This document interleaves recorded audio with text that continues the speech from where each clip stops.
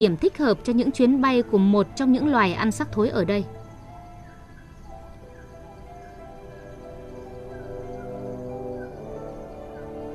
Một con kền kền đầu đỏ đang khảo sát khu vực đồng bằng vùng trũng phía Bắc để tìm xác thối.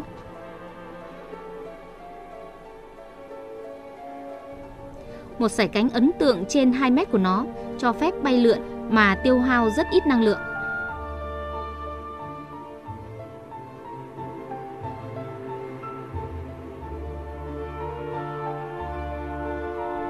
Khi tìm thấy nguồn thực phẩm tiềm năng, nó phải nhanh chóng hành động, nhanh chóng bổ nhào từ trên không xuống.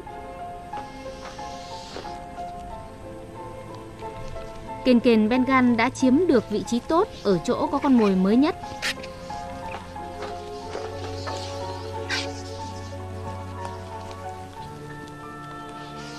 Giống như loài kền kền đầu đỏ, loài chim này có túm lông màu trắng ở phần đuôi nên còn được gọi là kền kền phao câu trắng.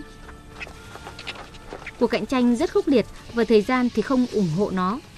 Một số loài kền kền có thể phát hiện ra được một xác chết trong vòng bán kính 5 km cho nên chẳng mấy chốc sẽ còn nhiều đối thủ mò đến nữa.